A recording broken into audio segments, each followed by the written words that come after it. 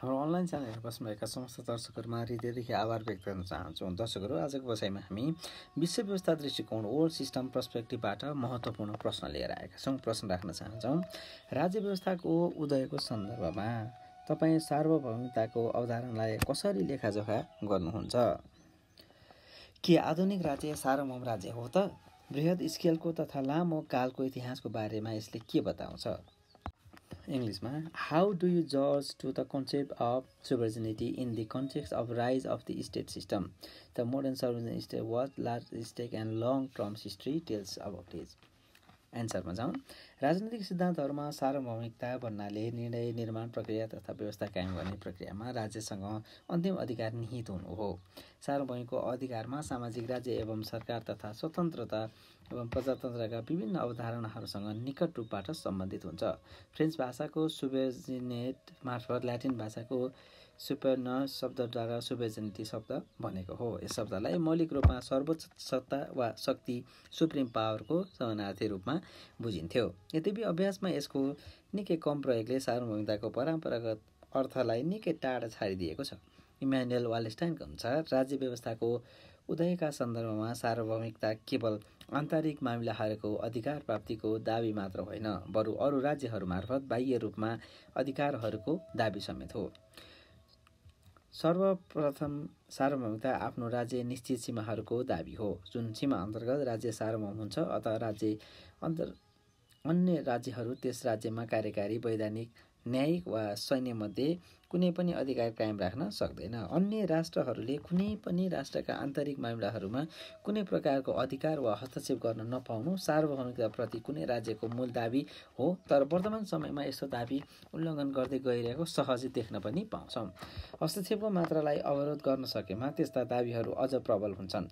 राज्यहरू बिचका सीमाहरू अपरिवर्तनीय हुन्छन्। राज्यबीचका सीमाहरूको दावी स्थिर र पुनरावृत्तिजन्य कन्सट्यान्ट एन्ड रिकरेन्ट हुन्छन्। वालिस्टिनका अनुसार सार्वभौमिकताको एउटा अर्को आधारभूत विशेषता पनि रहेको छ। सार्वभौमिकता एक दावी क्लेम हो तर अरूद्वारा ज्ञात वा महसुस नगरेसम्म त्यस्तो दावी कस कमै मात्र अर्थ रहन्छ। अरूले दावीलाई सम्मान नगर्न सक्छन् तर त्यस्तो सम्मान नगर्नु औपचारिक रूपमा ती दावीलाई ज्ञात गर्नुभन्दा दुई किसिमहरूबाट कम महत्त्वपूर्ण हुन्छ। यसै तात्पर्य सार्वभौमिकताप्रति कुनै राष्ट्रको दावीलाई अरू राष्ट्रले ज्ञात गर्नु स्वीकार गर्नु वा अनुमति गर्न बढी अर्थपूर्ण र महत्त्वपूर्ण हुन्छ। सार्वभौमिकता वैज्ञानिकताको विषय म्याटर अफ लेगिटिमेसी भन्दा अझ बढी महत्त्वपूर्ण र फराकिलो हुने गर्दछ। आधुनिक विश्व व्यवस्थामा सार्वभौमिकताको वैधानिकताको लागि पारस्परिक महत्त्व पनि आवश्यक छ। अर्थात् सार्वभौमिकताका लागि वैधानिकता र वैधानिक राज्यका लागि सार्वभौमिकता दुवैको महत्त्व एवं भूमिका समान वा पारस्परिक हुने गर्दछ। सार्वभौमिकता एउटा परिकल्पनात्मक रिवाज हाइपोथेटिकल ट्रेड हो जसमा दुईवटा सम्भावित वा वास्तविक रूपबाट सङ्घर्षरत पक्षीहरूले शक्तिका यथार्थपरक वास्तविकताहरू डिफ्याक्टो रियालिटिज अफ पावरलाई समान र आफ्ना न्यूनतम लागतका रणनीतिमा त्यस्ता वास्तविकताहरूलाई विनिमय गर्दछन्। पारस्परिक महा महत्त्व महत्त्वभूति अन्तर्राष्ट्रिय व्यवस्थाको मूल तत्त्व हो। कहिलेकाहीँ त्यस्ता विषयहरू पनि हुन्छन् जसद्वारा केही राज्यले आफ्नो सार्वभौम दावी गर्छन् तर अरू राज्यहरू तिनले सार्वभौमिक महसुस गर्न पाएका हुँदैनन्। त्यस्तो अवस्थामा सार्वभौमिकताको दावी कम महत्त्वको हुने गर्दछ। के? आधुनिक राज्य सार्वभौम राज्य हो त? Is a modern state is sovereign state आधुनिक राज्यलाई पूर्णतया सार्वभौम वा सत्ताधारी राज्य मानिन्छ। आधुनिक राज्य व्यवस्थाको सबैभन्दा महत्त्वपूर्ण र अभिन्न तत्त्व सार्वभौमिकता हो।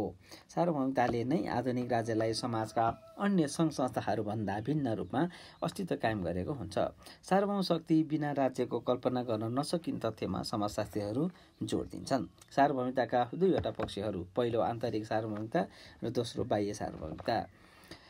राज्य अन्तर्गत सबै व्यवस्थाहरू सङ्घ संस्थाहरू राज्यको अधीनमा रहनु तिनलाई आदेशद्वारा परिचालन गर्ने अधिकार रहनु आन्तरिक सार्वभौमिकता हो भने राज्य कुनै पनि शक्ति वा अन्य राज्यको दबाव वा हस्तक्षेपबाट स्वतन्त्र हुन हुनु चाहिँ बाह्य सार्वभौमिकता हो। पन्ध्रौँ र सोह्रौँ शताब्दीबाट युरोपमा राष्ट्रवादको उदय भएसँगै जमिनदारहरू र धार्मिक अधिकारहरूको नाममा क्षीण भइसकेको थियो। त्यसपछि नयाँ आर्थिक सम्बन्धका अतिरिक्त नागरिकहरू राष्ट्रिय भाषा र संस्कृतिको एकता तथा देशको प्राकृतिक सीमा जस्ता विचारहरूमा अस्थायी समूहको रूपमा जोडिन थालेका थिए। यसरी सर्वप्रथम फ्रान्स स्पेन बेलायत स्विजरल्यान्ड नेदरल्यान्ड रुस इटाली र जर्मन आधुनिक राज्यका रूपमा विकसित भए। त्यसपछि विश्वका अधिकांश देशहरूमा निरङ्कुश राज्यतन्त्र कायम हुन पुग्यो। अठारौँ र उन्नाइस शताब्दीको समयमा उपनिवेशको सहारा लिएर विभिन्न देशहरूलाई अधीनस्थ तुल्याउने प्रवृत्ति बढ्दै गयो। वर्तमान समयसम्म आइपुग्दा औपनिवेशता समाप्त भइसकेको छ भने परम्परागत राजतन्त्रात्मक शासन पद्धतिका स्थानमा प्रजातान्त्रिक पद्धतिको अवलम्बन गरी सामूहिक हितलाई जोड दिन थालिएको छ। तसर्थ वर्तमान समयमा विकसित राज्यहरूलाई आधुनिक मोडर्न स्टेट भनिन्छ। अर्कोतर्फ कुनै शक्ति समूह अथवा न्यायिक व्यवस्थाको आरोपित सर्वोच्चताको विशेषतालाई सार्वभौमिकता वा सम्प्रभुता भनिन्छ। राजनीतिक सार्वभौमिकता सन्दर्भमा प्राय जसो यस अवधारणाका प्रयोग गरिन्छ। कुनै राज्यले आफ्नो नागरिकहरू उप सर्वोच्च वा अन्तिम सत्ता प्रदान गर्ने व्यवस्थाका सन्दर्भमा सार्वभौमिकताको अवधारणा प्रयोग गर्ने गरिन्छ। विश्व व्यवस्थाका दृष्टिकोणका प्रमुख वकालतकर्ता ओम इमानुएल वालस्टाइनका अनुसार आधुनिक राज्य एक सार्वभौम राज्य हो। उनका अनुसार आधुनिक विश्व व्यवस्था अन्तर्गत नै सार्वभौमिकताले राज्य शक्तिको स्वायत्ततालाई जनाउँछ आधुनिक राज्यहरू राज्यका वृहत परिधि अन्तर्गत कायम भएका हुन्छन् जसलाई अन्तर राज्य भनिन्छ। सार्वभौमिकताको वैधानिकता र राज्य व्यवस्था दुवै एकअर्काका परिपूरक तथा पारस्परिक मानिन्छ। तसर्थ आधुनिक राज्य एक सार्वभौम राज्य हो। सार्वभौमिकता मुख्य राजनीतिक परिणामहरू सहितको कानुनी वा वैधानिक दावी हो किनभने सार्वभौमिकतामा समावेश हुने ती राजनैतिक परिणामहरू राज्य अन्तर्गत र अन्तर्राष्ट्रिय स्तरमा पनि राज्य बीच दुवै राजनैतिक सङ्घर्षका मुख्य परिणामको रूपमा रहेका हुन्छन्। पुँजीवादी विश्व अर्थतन्त्रमा सञ्चालित विश्व व्यापार उद्यमशीलताका दृष्टिकोणबाट कुनै पनि सार्वभौम राज्यले आफ्नो प्रत्यक्ष रुचि बमोजिम सातवटा सिद्धान्तहरू अधिकार वा सत्ताको प्रयोग गर्न सक्दछ। पहिलो राज्य के कस्ता अवस्थाहरूमा उत्पादन पुँजी र श्रमलाई आफ्नो सीमा पारसम्म विस्तार गर्ने सम्बन्धमा नियम प्रावधान निर्माण गर्न सक्छ। दोस्रोमा राज्यले आफ्नो राज्य अन्तर्गत सम्पत्ति अधिकारहरू प्रोपर्टी राइट्ससँग सम्बन्धित नियमहरू निर्माण गर्न सक्दछ। तेस्रोमा रोजगारदाता र रोजगार सम्बन्धी ऐन कानुन निर्माण गरी कार्यान्वयन गर्न राज्यलाई अख्तियारी प्राप्त हुन्छ।